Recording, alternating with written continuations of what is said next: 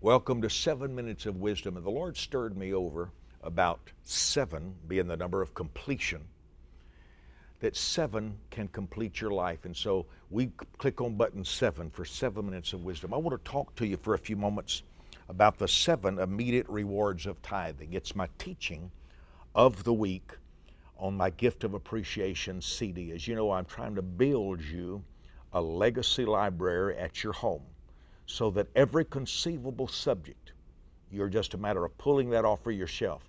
I'm building this library so that you can have for your family a legacy, and when they ask you questions, you can go and pull that teaching one hour or so on wisdom.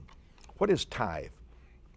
We know that the Bible says the tithe is the Lord's.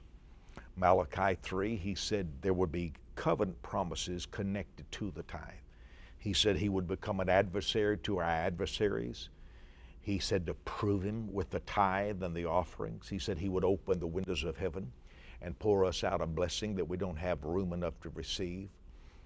The tithe documents your trust in God. It's documentation of trust. You ought to write that down. The tithe is documentation of trust. Is trusting God important? It's the only thing that gets favor from Him. He doesn't respond to pain or tears or heartache. He only responds to being believed. We know, you and I know as partners in our ministry, that the most important scripture in the entire Bible is Numbers 23 19. Without that scripture, nothing else matters. God is not a man that he should lie, nor the Son of Man that he should repent. Hath he not spoken it, will he not perform it? If I was sitting at your lunch table today and you said, Mike, what's the most important thing I need to know about God? That would be what I tell you. His only pain is to be doubted, His only pleasure is to be believed. In all of my years of studying the Bible, it seems to be that that's God's obsession. He wants to be trusted so bad, so much, that He promises you almost the moon. You speak to that mountain, it'll move. But we know that He hates unbelief, hates doubt because out of the 12 spies who went to Canaan, 10 came back full of doubt and unbelief, and for every day of the 40 days they doubted God. Every day became 365 days of losses and pain. Every day of doubt produced a tragedy 365 times over.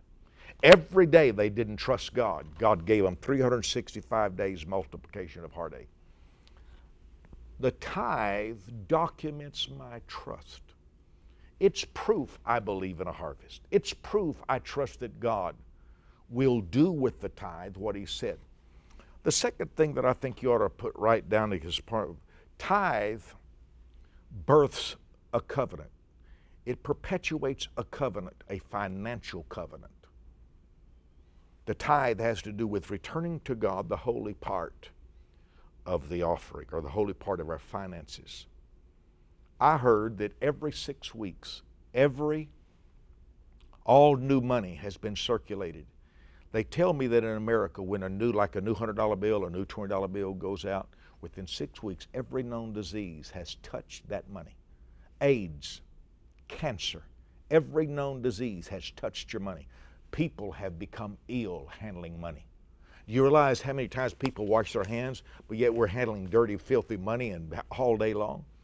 I believe that the tithe is like the circumcision, the cutting away of what doesn't belong to us and returning it to God. And when we cut away, circumcise our financial life, the remaining 90% becomes fertile, it becomes powerful.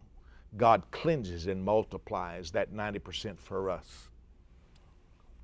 The tithe is a key.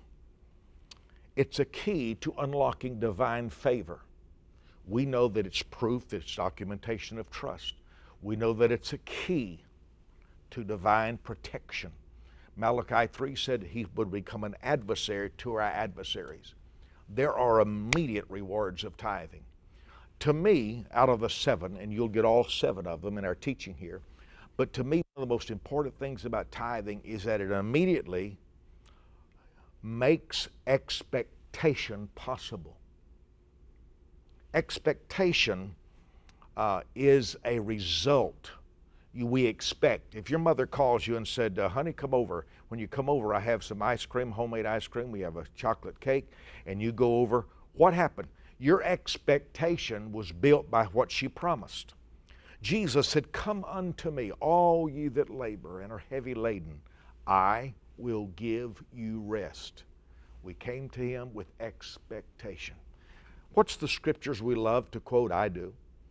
He that cometh unto him must believe that he is, and that he is a rewarder of those that diligently seek him. Without faith, which is expectation, confidence, without faith, without confidence in God, it is impossible to pleasure God.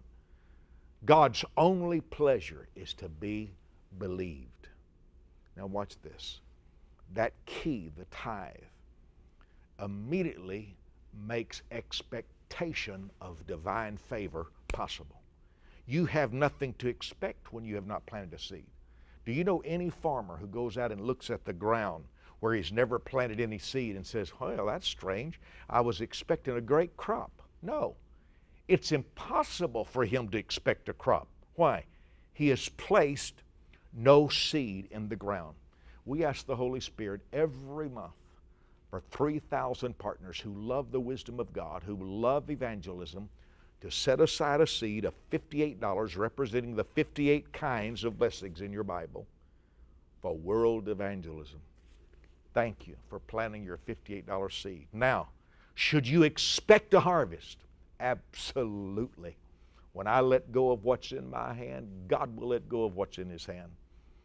Thank you not only for tithing to the work of the Lord, but the extra seeds for missions, the extra seed for television ministry. Thank you.